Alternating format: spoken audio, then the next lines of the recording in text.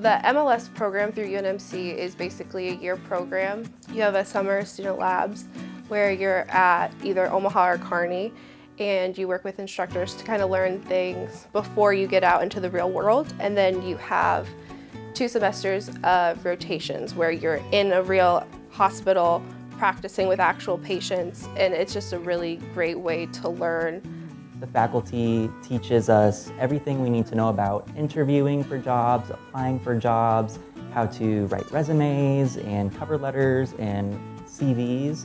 So that really just, I felt like put me one step above any competition that I would have had to have. The UNMC program has uh, prepared me for my future career in a lot of different ways. They tell you what to expect in the career and also they give you all the tools that you need to achieve that. And again, just the support that they provide is outstanding. Being in Kearney, there was the concern that I wouldn't have as much support just because a lot of it's distant learning.